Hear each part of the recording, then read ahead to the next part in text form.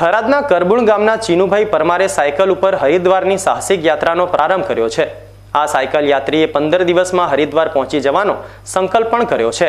થોડા સમય પહેલા થરાદ તાલુકાના નારોલી ગામના જનકસિંહ ચૌહાણ સાયકલ ઉપર ચારધામ અને બાર જ્યોતિર્લિંગની યાત્રા પૂરી કરી પરત આવ્યા બાદ હવે થરાદ તાલુકાના કરમુણ ગામના સાયકલ યાત્રીએ હરિદ્વાર સુધીની સાહસિક સાયકલ યાત્રા શરૂ કરી છે.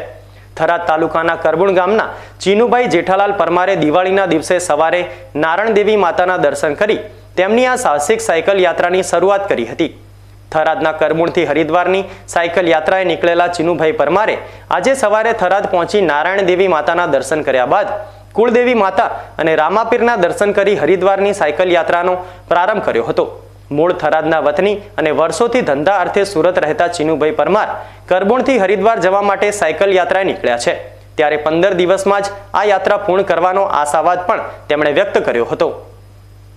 અત્યારે આજે હું કરમૂળથી ને અત્યારે મારું પ્રસ્થાન કર્યું છે. તો અત્યારેથી કરમૂળથી માતાજીને અહીંયા પગે લાગ્યો. અહીંયાથીને અહીંયા માતા કુળદેવી હરસિદ્ધિ મારા હતા, અહીંયા પગે લાગ્યો. હવે અહીંયાથી આજે પ્રસ્થાન કર્યું છે. તો અહીંયાથી મારે અત્યારે હરિદ્વાર જવા માટે નીકળી અંદાજિત પંદર દિવસ લાગે એવી અંદાજ છે.